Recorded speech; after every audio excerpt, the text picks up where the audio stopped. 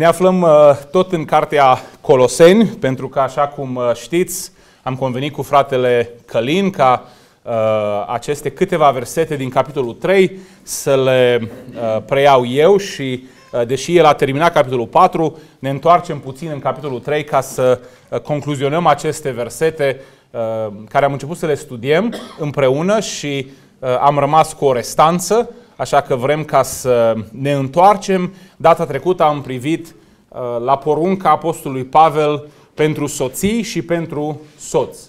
Vă amintesc că ne aflăm uh, într-o secțiune în care Apostolul Pavel tratează, în primul rând, viața de familie, da? viața de familie, care în vremea atunci, de atunci includea inclusiv, uh, într-un fel, aspectul profesional, pentru că stăpânii și robii erau parte din uh, Uh, aceeași gospodărie. Practic, astăzi lucrurile nu stau la fel, dar lecțiile uh, rămân. Și astăzi am ajuns la acest set de porunci care sunt prezentate pentru copii și părinți. Coloseni 3, versetul 20 și 21. În această dimineață ne vom uita la versetul 20 pentru copii și de seară pentru părinți, ceea ce înseamnă că probabil mai uh, vin încă două, două mesaje duminica viitoare pentru robi și uh, stăpâni, da? sau pentru angajați și patroni, ca să fim în uh, contextul de, uh, de astăzi. Uh, și asta va concluziona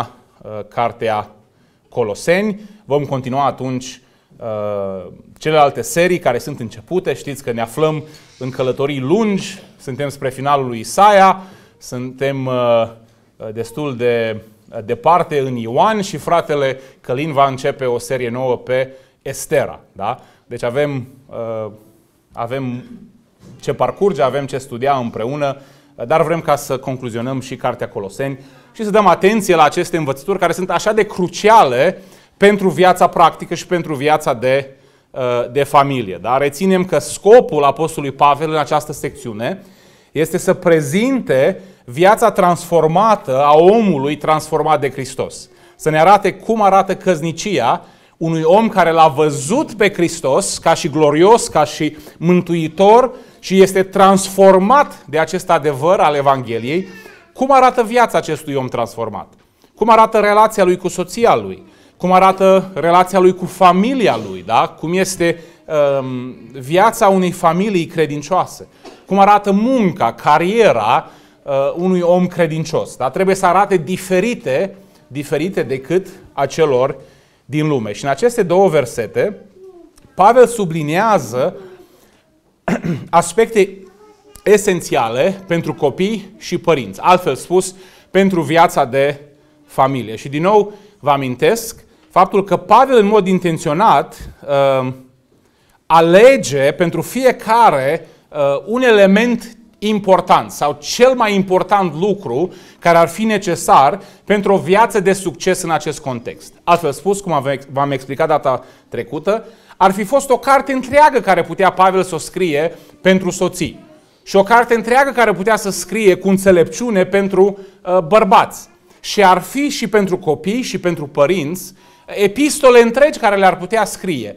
El alege lucru cel mai important care dacă nu este prezent va destrăma, va strica, va face inutilă orice încercare de a, de a avea o relație de succes pentru copii și părinți și care dacă este prezentă va face de succes acea relație și va da rezultate.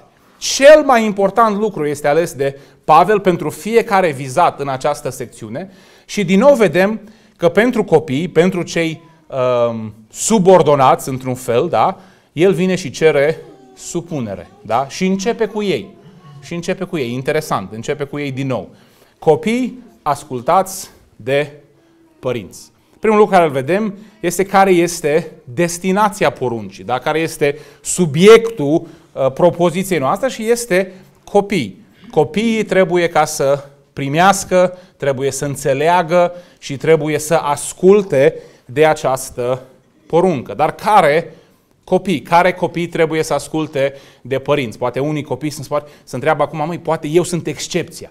Poate o să explice fratele că eu sunt într-o categorie excepțională și eu nu trebuie să ascult de uh, părinți? Și răspunsul este, din păcate, copiilor, orice, din păcate, din fericire, o să vă dați seama când creșteți mai mari, orice copil este responsabil să asculte de părinți. Uh, frate, dar cum rămâne totuși cu cazurile acelea excepționale? De exemplu, cum rămâne cu uh, familiile în care părinții nu sunt creștini? Poate copilul este în cadrul bisericii, dar părinții nu sunt uh, creștini. Totuși, Scriptura ne arată că toți copiii trebuie să asculte, să asculte de părinți. Legea lui Dumnezeu este universal valabilă. Caracterul lui Dumnezeu transmis prin lege nu este doar pentru copiii lui Dumnezeu, este în mod principal pentru ei, dar legea lui Dumnezeu transmite voia lui Dumnezeu universală. Toți copiii trebuie să-și cinstească părinții conform uh, legii lui Dumnezeu. Da? Această poruncă, cinstește-l pe tatăl tău și pe mama ta, nu se aplică doar poporului Israel. Da? Ascultarea de părinți este o lege naturală. Este și o lege explicită pentru că Dumnezeu ne-o dezvăluie prin cuvântul său, dar este o lege naturală. Orice copil are această obligație. Și știe lucrul acesta. Știi cum știm că știe? Foarte simplu. Atunci când încalcă această lege, se simte vinovat. De exemplu, când s-a întâmplat ultima dată, ca copilul dumneavoastră să nu vă asculte și imediat să vină și să vă spună. Niciodată. De ce? Atunci când copilul încalcă legea aceasta de a fi ascultător de părinte, el știe că a încălcat-o și face exact ceea ce a făcut Adam și Eva, se ascunde. Pentru că știe că se află în neascultare, știe că se află în păcat și firea din el îi spune, trebuie să mă ascund, pentru că acum mă aflu sub condamnare. Trebuia să ascult de mama și de tata și nu am făcut lucrul acesta. Ca atare, copilul înțelege, da, de la cea mai fragedă vârstă, înțelege că el are datoria să asculte, uh, să asculte de, uh, de părinți. Da? Evident uh, că Pavel are în vedere, în mod special, copiii dintr-o casă creștină, da? copiii dintr-o casă creștină, unde părinții uh, sunt creștini, unde fac parte din biserică, da? dar cazurile excepționale nu schimbă regula lui Dumnezeu pentru Uh, pentru copii. Da? Lucrul acesta este evident prin mai multe uh, indicii în textul nostru, faptul că în primul rând se vizează copiii dintr-o casă creștină, de exemplu prin motivația dată copiilor, căci lucrul acesta este plăcut lui Dumnezeu. Un copil care nu este dintr-o casă creștină, nu ar fi el preocupat de ce este plăcut sau nu este plăcut lui Dumnezeu. Un copil care nu este expus la învățătura creștină, nici nu-și pune întrebarea ce este plăcut sau ce nu este plăcut lui Dumnezeu. Și a venit cu asemenea motivație ar fi inutil. Ca să mergi la un copil care n-a auzit vreodată de Dumnezeu și să spui, ascultă de mama ta și de tatăl tău, pentru că asta îi va place lui Dumnezeu. Copilul va spune, și? Cine-i Dumnezeul acesta? Da? De ar trebui să-mi pese mie ce-i place, ce-i place lui. Doar un copil care este expus la această învățătură, care face parte dintr-o comunitate de credincioși, uh, poate ca să înțeleagă o asemenea, o asemenea uh, motivație. Da? Acum, aceasta nu înseamnă că copilul este în mod necesar născut din, din nou, dar înseamnă că în mintea lui și în inima lui s-au pus niște semințe de etică creștină. El înțelege niște lucruri, cel puțin la nivel mental. Da? El știe, are un concept despre Dumnezeu, despre autoritate, despre faptul că El trebuie să fie ascultător, despre ce înseamnă păcat, despre ce înseamnă încălcarea legii, despre ce înseamnă dreptate. Da? El are niște concepte care s-au sădit acolo de-a lungul timpului. Asta nu înseamnă că este, uh, că este uh, născut din nou. Da? Uh, de fapt, ceea ce face distinct acest verset, sau interesant acest verset, este că în contrast cu toți ceilalți vizați aici, de exemplu, soț, soție, rob, stăpân și și părinți, copilul este posibil ca să facă parte dintr-o categorie de nenăscuți din nou. Pentru toți ceilalți, când vorbești de soț și soție, Pavel are în vedere că aceștia sunt credincioși. Soțiile trebuie ca să se supună datorită faptului că Hristos le cheamă la lucrul acesta. Asta este motivația. Soțul trebuie să iubească la fel cum Hristos și-a iubit biserica. Ambii sunt, uh, ambii sunt uh, menționați ca și fiind uh, credincioși. Da? Apoi, de exemplu, rob și stăpân. Robul trebuie să lucreze uh, precum lucrează înaintea Domnului și motivat de răsplata care o dă Domnul. Este un om credincios care poate face asta. Stăpânul trebuie să răsplătească munca aceea cu dreptate, știind că este unul care face dreptate. Din nou, un om credincios, da? Părinții, de asemenea, ă, sunt oameni credincioși, dar copilul poate fi credincios sau necredincios. Poate fi un copil care este născut din nou sau poate fi un copil care, deși face parte dintr-o familie creștină, deși face parte dintr-o, dintr-o biserică, da, este adus la biserică, el este nenăscut din nou. Și cu toate acestea, Pavel totuși se adresează copiilor. Găsește important să se adreseze copiilor dându-le învățătură și dându-le această poruncă, indiferent dacă sunt, uh, dacă sunt sau nu născuți din nou. Totuși înțelegem din aceasta că deși această poruncă este dată în auzul lor și pentru ei, uh, greutatea ei principală cade, cade pe umerii noștri. Noi suntem cei care trebuie să o recepționăm în primul rând și apoi să o aplicăm asupra lor. Dacă noi nu purtăm această greutate, uh, este vai de noi și va fi, uh, din păcate, probabil, uh, probabil inutil, inutil pentru un copil. În al doilea rând, știm că această poruncă este în mod principal pentru copiii care fac parte dintr-o familie creștină și care sunt aduși la biserică, pentru că ne punem întrebarea, unde trebuiau copiii aceștia uh, să audă această poruncă sau învățătura lui Pavel pentru ei? Și răspunsul este în biserică, da? este singurul loc, în biserică. Aceasta este o epistolă transmisă bisericii și vizează atât uh, părinții din biserică, dar și copiii din biserică. Ca atare, Pavel are în vedere, în primul rând, copiii care aparțin bisericii, care fac parte dintr-o familie care vine și aparține acelei, acelei biserici. Asta nu înseamnă că alți copii nu trebuie să asculte de părinții lor, dar în primul rând Pavel este preocupat de copiii din biserica din Colose, de cei care vin la biserică cu, uh, cu părinții, cu părinții Uh, cu părinții lor. Și este important de înțeles lucrul acesta, pentru că este o casă creștină care produce în viața copilului o conduită, o conduită creștină. Este nevoie de o casă creștină și este nevoie de un cadru creștin care se extinde dincolo de casă, chiar la biserică. Dacă ai vorbi astăzi cu părinți necredincioși, ai merge acum pe stradă și ai luat la întâmplare niște părinți care au copii uh, încă mici și ai întreba dacă ai dori de la copiii lor să aibă un anume comportament. De exemplu, dorești ca copilul tău să-și respecte părinții și să fie ascultător? Cam orice părinț, părinte normal la cap ar spune, da, cum să nu? Vreau să asculte, vreau să-mi vorbească cu respect. Uh, vrei ca să fie politicos, adică să respecte și pe alți oameni, pe oameni mai în vârstă, pe oameni în autoritate, pe profesori? Da, cum să nu? Este normal lucrul acesta, îmi doresc lucrul acesta vrei ca să vorbească frumos, adică uh, niciun cuvânt stricat să nu iasă din gura lui? Efesen 4 cu 29. Da, cum să nu vreau să fie uh, un copil care să crească nobil și frumos și uh, să vorbească frumos, da? Vrei ca să trăiască în puritate? Chiar necredincios. Dacă vorbești cu o mamă necredincioasă despre fetița ei care acum are 13 ani și încep transformările și încep ca să ochească băieții, ce ai vrea pentru fata ta? Să traverseze tot orașul și toți băieții să o ia la mână? Sau să trăiască în puritate? Numai o nebună la cap ar spune, eu vreau ea să trăiască în destrăbălare. Ce ai prefera? Să găsească repede un bărbat care să o iubească, să o prețuiască, nu doar pentru trupul ei, dar pentru mintea ei, pentru inima ei, să o iubească necondiționat?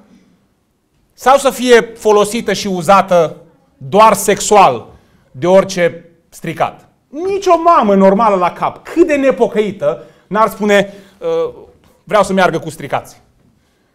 De ce? Este firesc până la urmă, da? Este firesc lucrul acesta. Și totuși, și totuși, deși evident ar vrea comportamentul creștin, ar vrea comportamentul duhovnicesc, nu-L vor pe Dumnezeu. Nu vor, nu-l vor pe cel care dă aceste porunci. Este dezastros, este dezastros că deși în general chiar omul firesc vrea pentru copilul său o viață după legea lui Dumnezeu, respinge pe Dumnezeu care este dătătorul legii. Nu vrea să aude de cel care poruncește lucrurile acestea, da? Deși el ca și părinte vrea pentru copilul lui ceea ce părintele lumii acestea cere de la toți oamenii, da? Uh, respinge pe Dumnezeu, dar ar vrea ca copiii lui să trăiască după porunca lui Dumnezeu, să trăiască în ascultare, în puritate chiar.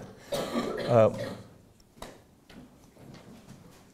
mai mult decât atât, îl resping pe Dumnezeu nu doar ca un dătător al legii, dar ca singurul care ne poate scăpa de sub condamnarea legii, prin dragostea Lui. Prin faptul, prin faptul că noi, de exemplu, cerem de la copiii noștri ceea ce noi nu dăm lui Dumnezeu, nu facem altceva decât să ne condamnăm. Prin faptul că cei din lume cer ascultare de la copiilor, dar nu ascultă de Tatăl Ceresc, ei nu, nu fac altceva decât să se condamne. Prin faptul că uh, o mamă sau un tată uh, cer puritate de la copilul lui, dar ei sunt stricați pe dinăuntru, nu face altceva decât să ne condamne. Și noi, ca și societate, vrem moralitate și etică creștină în mare parte, da? Uh, marea parte din societate. Există ramuri radicale care vor destrăbălare totală, dar vrem în același timp să le respingem pe cel care o, pe care o dă. Și ce este mai trist? Ce este mai trist este când vezi părinți care se consideră credincioși, care doresc pentru copiii lor ce spune Scriptura, dar nu fac absolut nimic ca să o obțină. Nu-și cresc copiii sub autoritatea Scripturii. Vor un copil care arată așa cum arată copiii din Scriptură, dar nu sunt dispuși ca să-și crească copiii sub autoritatea ei. Ce înseamnă asta? Pe aici lipsesc copiii de Cuvântul lui Dumnezeu. Își lipsesc de cuv- copiii Cuvântului lui Dumnezeu acasă, își lipsesc cu, uh, copiii de la Cuvântul lui Dumnezeu la biserică, da? Pe ei odată mergem, odată nu mergem. Aș vrea un copil care să fie ascultător, aș vrea un copil care să fie, precum spune Scriptura, dar eu nu sunt dispus ca să-l cresc după Scriptură, da? Uh, prin lipsă de disciplină, de exemplu. Vreau un copil ascultător, dar nu vreau să-l disciplinez. Vreau un copil care să semene cu ceea ce arată Scriptura, dar nu vreau ca să-l cresc după cum spune uh, Scriptura. Da? Un copil cu caracter creștin, între ghilimele creștin, este crescut într-o casă cu caracter creștin, după principii creștine. Degeaba uh, tot vrei, vrei, vrei, dar nu faci nimic în direcția aceasta. Degeaba îți dorești un copil cu un asemenea comportament și discut doar de comportament.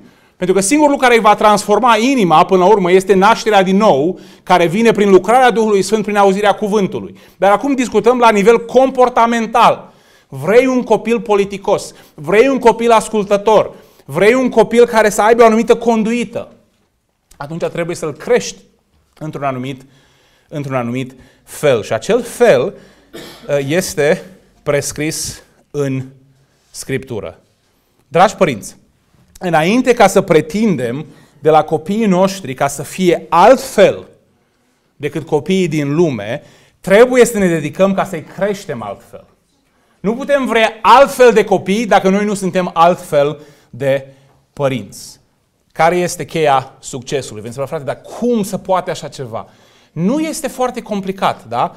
Există câteva elemente Uh, importante care trebuie să fie prezente și dacă sunt prezente, uh, vei avea succes. Nu de azi pe mâine, dar în timp vei avea succes. Primul lucru care trebuie să fie prezent este învățătura. Trebuie să învățăm cuvântul lui Dumnezeu. Trebuie să învățăm Scriptura. Un copil are nevoie de o teologie robustă. El trebuie să înțeleagă niște lucruri din Scriptură. El trebuie să înțeleagă ce este păcatul. El trebuie să înțeleagă care este consecința păcatului. El trebuie să înțeleagă ce înseamnă mântuirea. Frate, dar prea complicate. El n-au... Spui tu mie că o să explicăm noi copiilor noștri acasă uh, ce înseamnă ispășirea, de exemplu? Da. Nu este greu, da? Nu este greu și copiii sunt foarte în stare ca să înțeleagă. De exemplu, dacă eu vreau să explic la Iris ce înseamnă ispășirea. Iris, tu știi ce înseamnă ispășirea? Bun, haideți ca să facem un experiment. Aș putea eu, în 60 de secunde, să explic la Iris ce înseamnă ispășirea. Uite, îți dau un exemplu, Iris. Mama ta ți-a dat un telefon, da? Și a zis ca să ai grijă de telefonul acela. Și s-a zis că dacă nu o să ai grijă de telefonul acela, vor fi consecințe. De exemplu, poate că Ozana i-a zis că va trebui să-l plătească, să muncească, să strângă bani și să-l achite. Acum, dacă Iris, tu ai stricat telefonul acela, ai dat de pământ, ce crezi că s-ar întâmpla?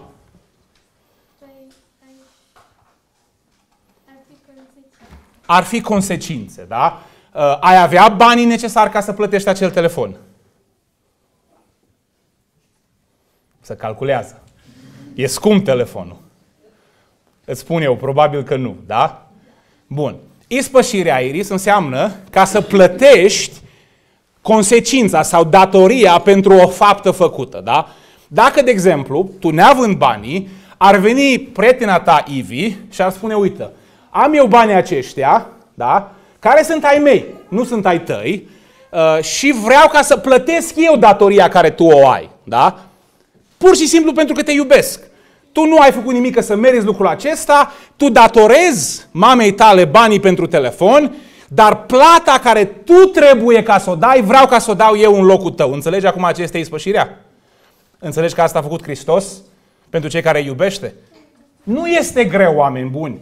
Data viitoare, când Iris vine la biserică și fratele Mihai vorbește despre o valență a ispășirii, ea acum înțelege exact ceea ce se discută. Da? Dar pentru că noi nu suntem dispuși să le citim din Scriptură, uh, nu suntem dispuși să le explicăm când nu înțeleg ceva, ei poate trăiesc o viață întreagă și la 18 ani, când pun mâna pe un dicționar, zic, a, oare ce e aia ispășire? Da? Dar un copil de, Iris, câți ani ai? 11 ani, poate înțelege ce înseamnă aia ispășire, da? Acum, facem experimentul mai departe, poate înțelege ce e aia ispășire limitată. Crezi că Ivi ar plăti telefoanele stricate a toți oamenilor din Zalău? Doar a tău pentru că te iubește, nu? Ispășirea limitată. Da? Nu este greu. Copiii sunt extrem de inteligenți. Noi nu suntem dispuși ca să îi, ca să îi învățăm. Da? Învățătura Scripturii, creșterea teologică, începe acasă și sfârșește acasă. Doar că trece pe la biserică. Da? Dar trebuie să înceapă acasă și să sfârșească acasă. Începe în timpul săptămânii, vii cu copilul la biserică, continuă și atunci copilul va crește și va crește și va crește în cunoașterea lui. Noi punem sămânțele acolo și la un moment dat Dumnezeu le va face, ne dăjduim, să crească. Dar nu este destul. Învățătura trebuie să fie o exemplificare, da? trebuie să modelăm Scriptura pentru copiii noștri. Că dacă nu suntem doar niște ipocriți, dacă spunem una și facem alta. De exemplu, noi vrem ascultare de la copiii noștri. Întrebarea este când le arătăm noi cum arată ascultarea. Da? Soțiilor, momentul cel mai bun ca să modelezi ascultarea față de fica ta, fiul tău, este momentul acela în care tu ești chemată să fii supusă. Dacă în momentul în care tu ca și soție, de exemplu, ești chemată să fii supusă față de soțul tău, te bați de pământ și la propriu și la figurativ, ca și copilul în mol, nu te mira când copilul va reacționa așa față de tine. Da? Tată, când tu ești chemat față de o autoritate deasupra ta, șeful tău sau cine o fi, să răspunzi cu supunere și tu răspunzi cu tot felul de vorbe, poate chiar nepotrivit pentru un creștin, nu te mira când fiul tău îți răspunde ție așa. Degeaba îi dai învățătură verbal dacă practic anulezi acea învățătură. Este nevoie de învățătură, este nevoie de exemplificare și mai este nevoie de un element, este nevoie de consecvență. Un copil, un copil nu este crescut într-o zi, da? Este crescut într-o viață. O viață întreagă de învățătură, da? Și de exemplificare pe termen lung.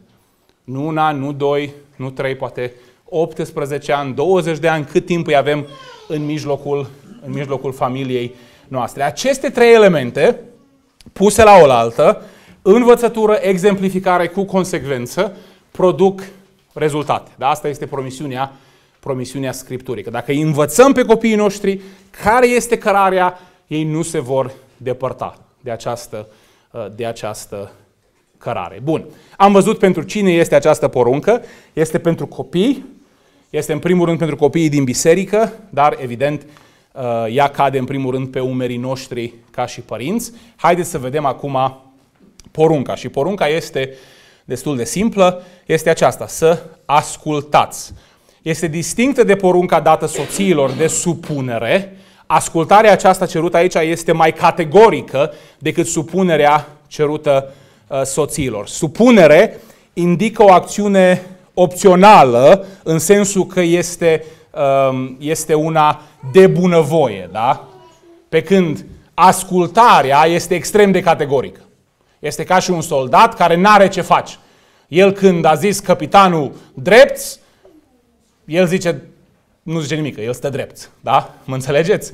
Pe când supunerea există posibilitatea, nu că ar fi bine, da? dar e un alt grad de supunere. Ascultarea este un grad superior de supunere. Ad literem Pavel spune copiilor, stați sub cuvântul părinților. Cuvântul părinților să fie deasupra voastră. Asta este ascultarea. Sta sub autoritatea cuvântului. Auzi ce ți se spune și pui în practică ce ți se spune. Da? Nu zici, pe vezi, să vezi, hai să discutăm. Nu. Auzi și când ai auzit porunca, comanda de la capitan, tu pui în, tu pui în, uh, în practică. Da?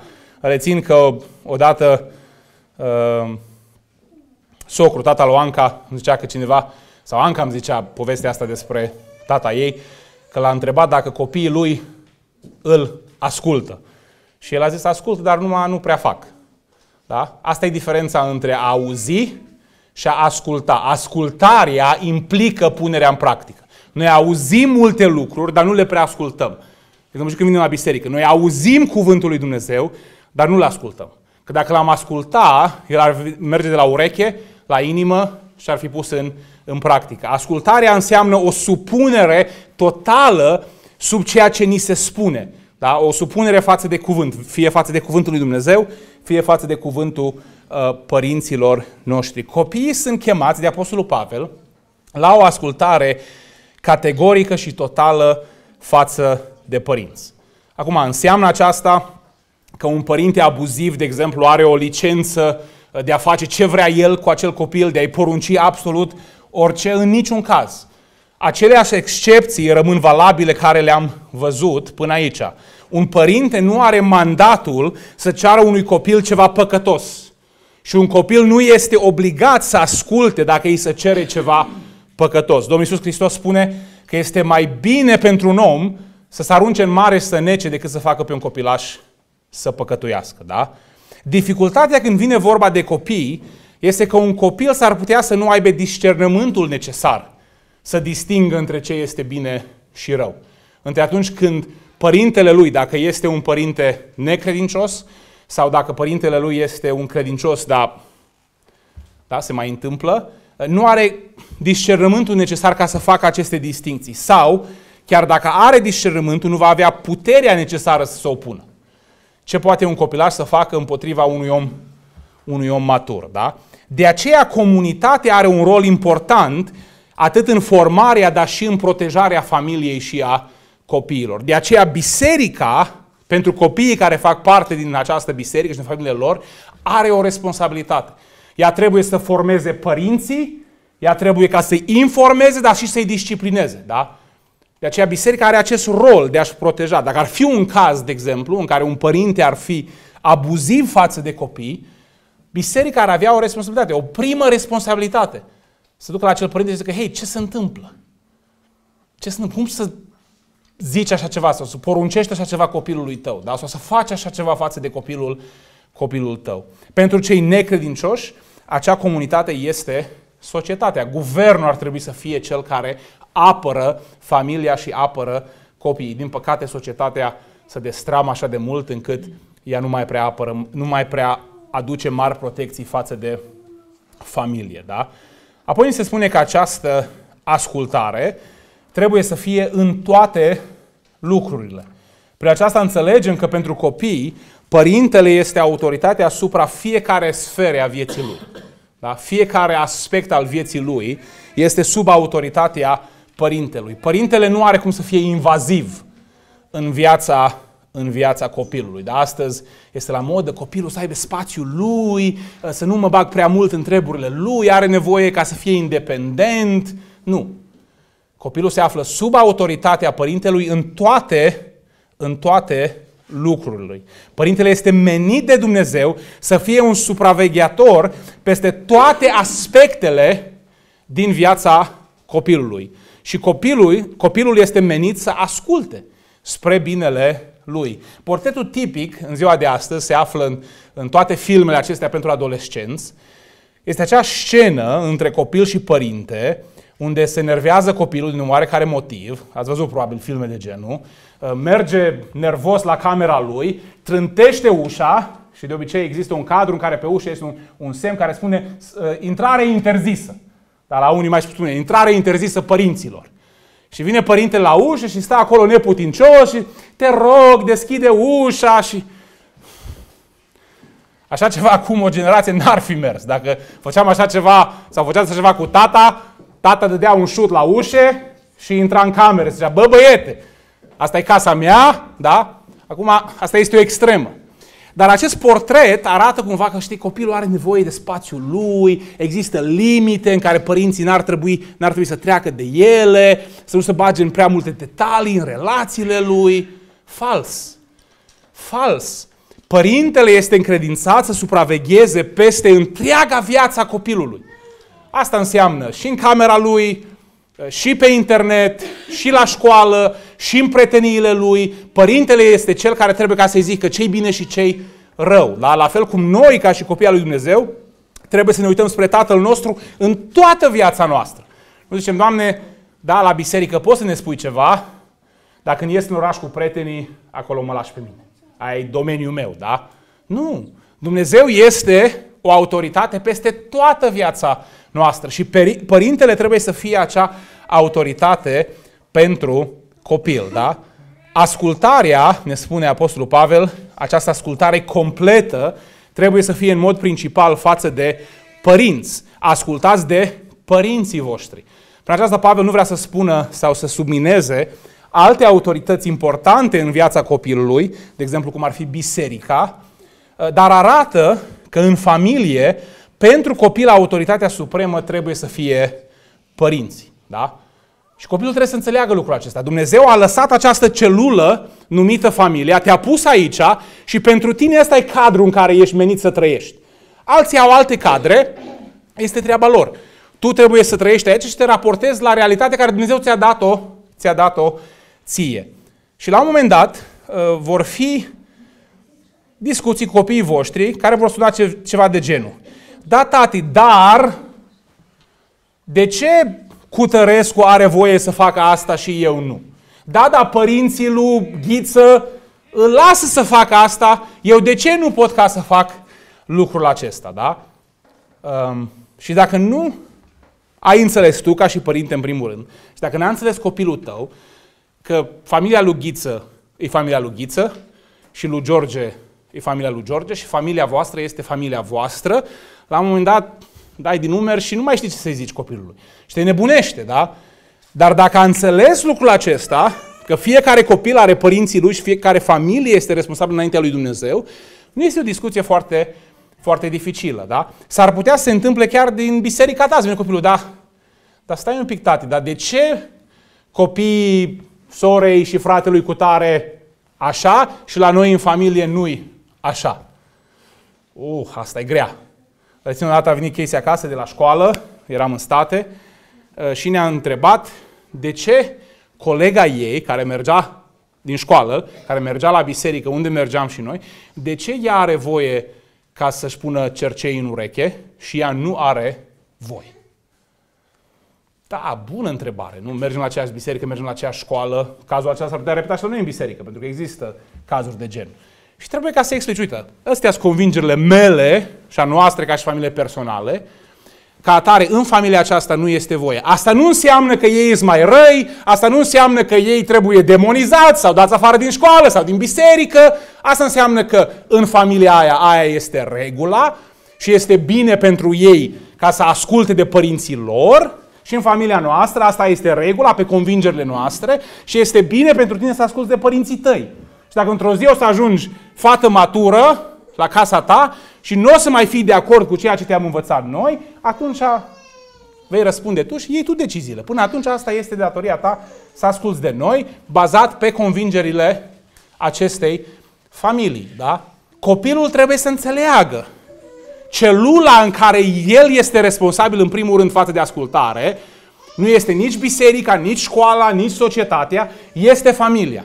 Dacă mama și tata au venit și au spus, uite, astea sunt convingerile familiei noastre, copilul este obligat să asculte. Cât timp nu îi se cere ceva păcătos uh, sau ceva de genul, da? cât timp se cere ceva în limitele uh, Scripturii. Că dacă s-ar cere ceva păcătos, copii, stați liniștit, am intervenit, noi ca și biserică, deci puteți ca să ascultați de părinți liniștit. Nu cred că la noi în biserică s-au cerut lucruri care n-ar fi în linii cu, uh, cu Scriptura. Da? Uh, apoi Apostolul Pavel, după ce ne arată porunca, porunca este ascultarea, porunca este ascultarea în toate aspectele vieții și porunca este ascultarea în mod principal față de părinții tăi, arată motivația pentru această poruncă. Ce ar trebui să motiveze pe copii. Da? Și Pavel se adresează copiilor din biserică și le dă această poruncă cu această motivație și, și ce este pentru mine absolut extraordinar este profunzimea teologică la care Pavel se așteaptă să o aibă acest copii. Vârste diferite, da? De ce zic lucrul acesta? Pentru că, în primul rând, cum am zis, această epistolă este trimisă întregii biserici. Și Pavel are așteptarea ca copiii aceștia să fie prezenți în mijlocul bisericii și să asculte citirea întregii epistole. Să nu credeți cumva că copiii erau undeva la școala duminicală și când se ajunge la versetul 20, fratele care era în față la învonă zis, oh, pauză, stai, realizez aici că are Pavel ceva și pentru copii, aduceți-i înăuntru. Da? S-a cântat o cântare, a adus copiii, copiilor, să ascultați de părinți, da? Ok, bun. Ă, plecați înapoi, continuăm. Versetul 21. Părinților, dar asta n-audă ei. Nu, copiii erau acolo, din capitolul 1 până în capitolul 4. Copiii aceia erau așteptați să asculte și chiar și să înțeleagă, chiar dacă nu 100%, această, această epistolă, da? Pavel se așteaptă ca ei, că ei, copiii, vor înțelege atât porunca care le-a dat-o, cât și motivația. De ce le-ar da-o dacă nu pot, dacă nu pot uh, înțelege? Da? Pavel spune, vă dau această poruncă și vă motivez și el crede că copiii noștri sunt în stare uh, să o înțeleagă. Da?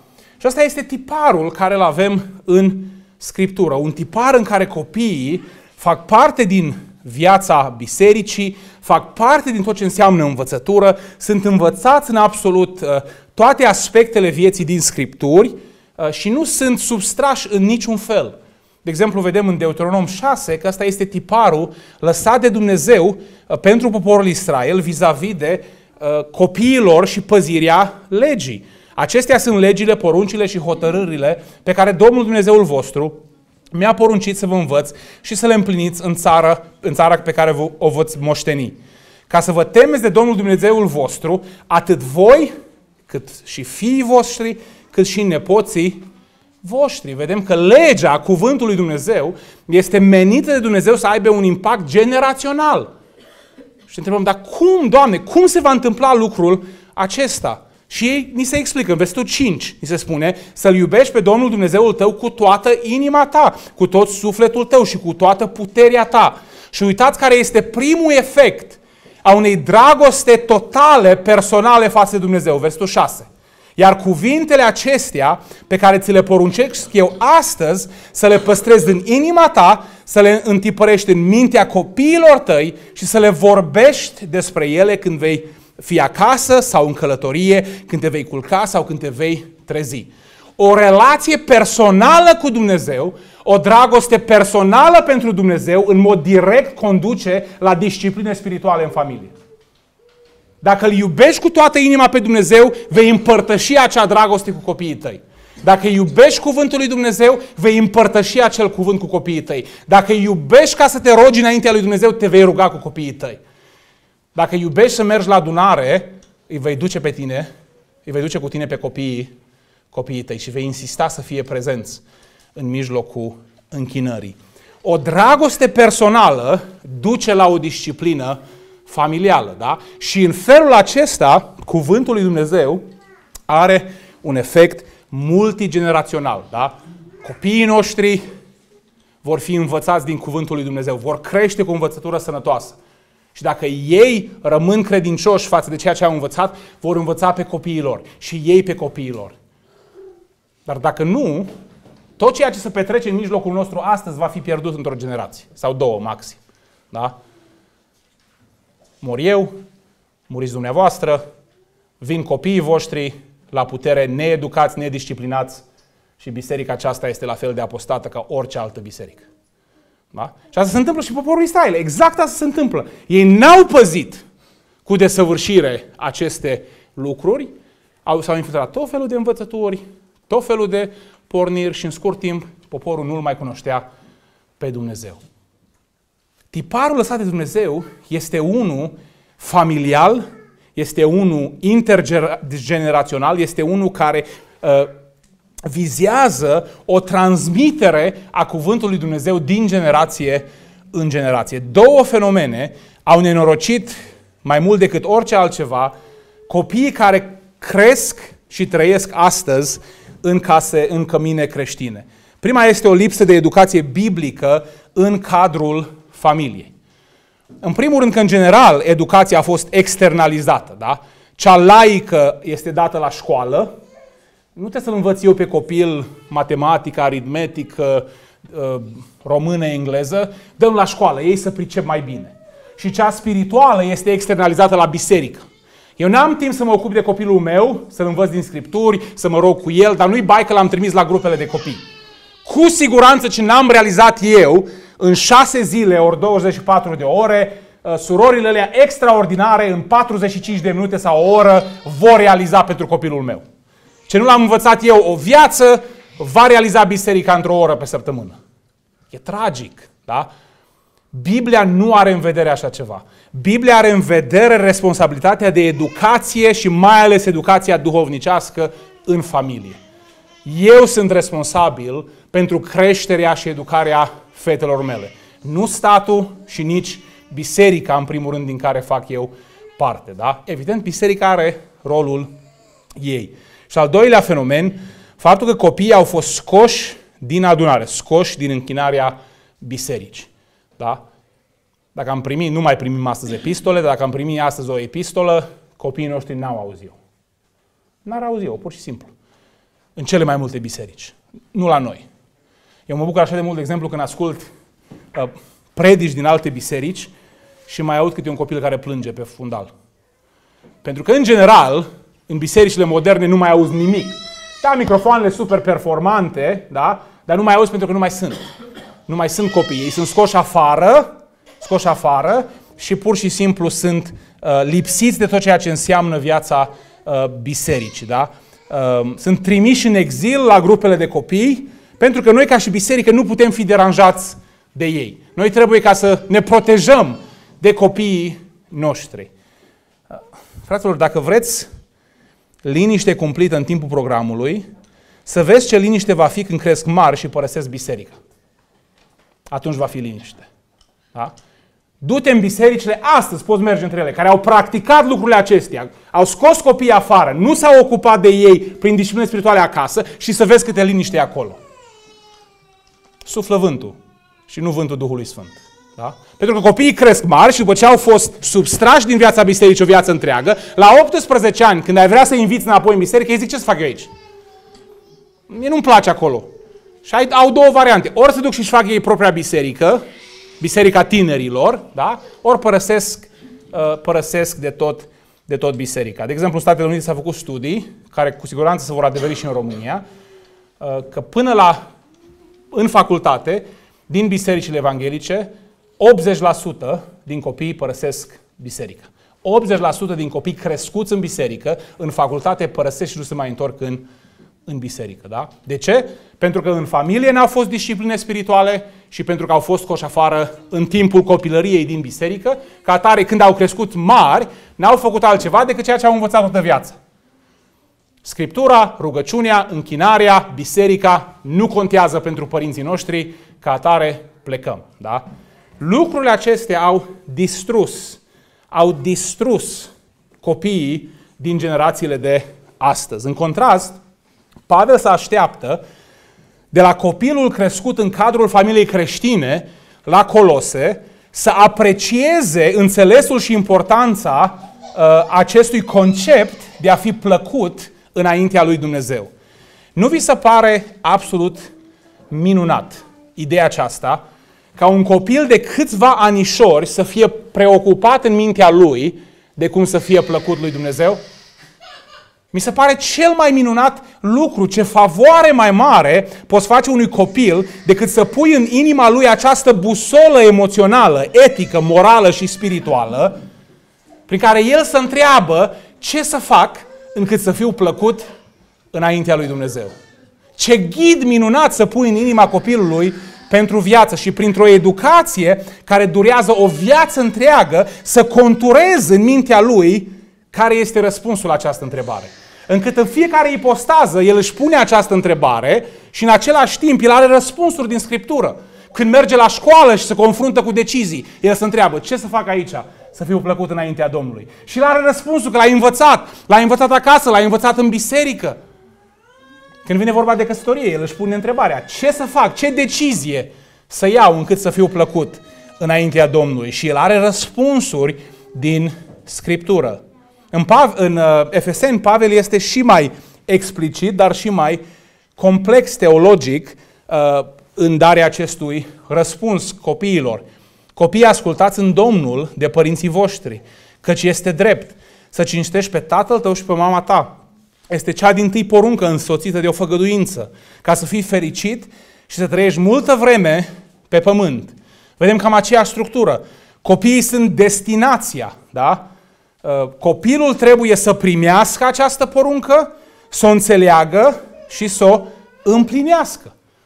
Sunt în stare copiii noștri ca să o primească, sunt în stare ei ca să o înțeleagă, să înțeleagă teologia care stă la temelia lor? la temelia acestei porunci? Dacă nu, noi suntem de vină, nu ei. Noi suntem de vină că nu i-am învăța, învățați. Porunca, ascultați, cu o calificare, în Domnul, da? Doar ceea ce este în Domnul. De ce? Motivația. Pavel spune, căci este drept. Pavel invocă legea lui Dumnezeu ca și motivație pentru ascultarea copiilor. El le spune, ascultați copilașilor, pentru că Dumnezeu cere acest lucru. Și dacă Dumnezeu îl cere, este drept. Câtă bogăție de teologie trebuie să știe un copil ca să priceapă acea propoziție. Dar, în același timp, arată că este și, uh, uh, este și binecuvântare atrasă de această ascultare. Și și aceasta trebuie să fie o motivație pentru copil. Este cea din tâi poruncă însoțită de o făgăduință. Nu este de mirat lucrul acesta, având în vedere având în vedere dragostea specială care o are Dumnezeu pentru, pentru copii. Și uitați promisiunea care Dumnezeu o face copiilor care ascultă de această poruncă. Ca să fii fericit și să trăiești multă vreme pe pământ. Părinților, nu e așa că nu ne dorim altceva pentru copiii noștri decât o viață lungă și fericită? Și dacă așa este, atunci vă implor Vă implor, ascultați de poruncile lui Dumnezeu când vine vorba de creșterea copiilor voștri. Dacă vreți binecuvântarea lui Dumnezeu peste copiii voștri, ascultați de porunca lui Dumnezeu.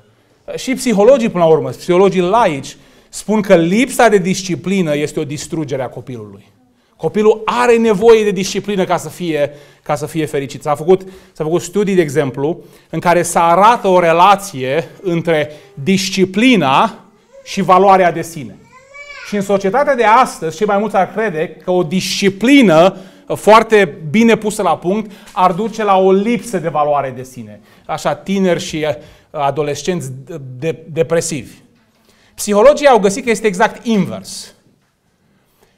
Adolescenții și tinerii adulți cu o valoare de sine ridicată sunt cei care provin din case unde s-a aplicat o disciplină extrem de consecventă.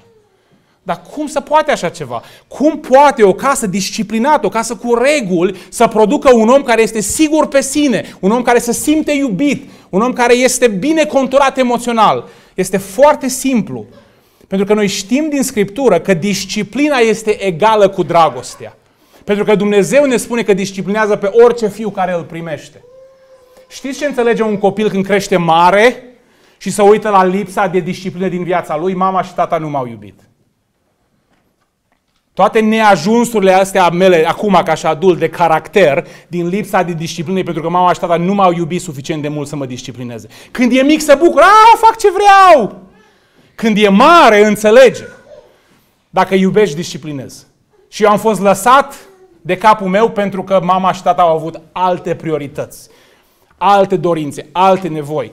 Și începe și devine complexat. Valoarea lui de sine scade, nu crește din lipsa de disciplină. Un copil într-o casă disciplinată, mai ales creștină, va fi mai sănătos emoțional când, e, când este adult. Va fi mai de succes în viață și în lucrurile materiale, în absolut tot. Pentru că nu poți avea succes nici spiritual, nici material, nici financiar, nici de un fel fără disciplină. Disciplina este necesară pentru absolut orice lucru bun. Apoi copilașilor. Nu este așa că vreți să fiți fericiți? Vreți, nu? Asta este dorința oricărui copil, să fie fericit, să fie happy. Și până la urmă, toată viața, într-un sens, este un fel de examen continuu la care trebuie să răspundem corect la întrebarea dacă fac lucrul acesta, voi fi cu adevărat fericit? Pentru că la fiecare colț, dragi copii, la fiecare cotitură, vi se prezintă tot felul de oferte care sună cam așa. Fă asta și vei fi fericit. Vin colegii, fă asta cu noi, să vezi ce bine o să te simți, să vezi ce te distrezi, să vezi ce fericită sau fericit vei, vei fi. Și tu trebuie ca să răspunzi corect la acest examen. Să știi dacă sunt promisiuni adevărate sau dacă sunt promisiuni goale, minciuni, menite doar să te amăgească. Și trebuie să știți că Dumnezeu vă face și El astăzi o promisiune. Vouă, copilașilor, prin cuvântul Său. Trebuie să știți că adevărata fericire vine atunci când asculți de Dumnezeu. Vine atunci când îl cunoști pe Dumnezeu. Și trebuie să știți că Dumnezeu a lăsat părinții ca și călăuze pentru voi. Ca să vă călăuzească departe de acele amăgiri și dureri și mizerii și aproape de Dumnezeu. Să vă păzească de capcanele lumii acesteia și să vă îndrume spre El.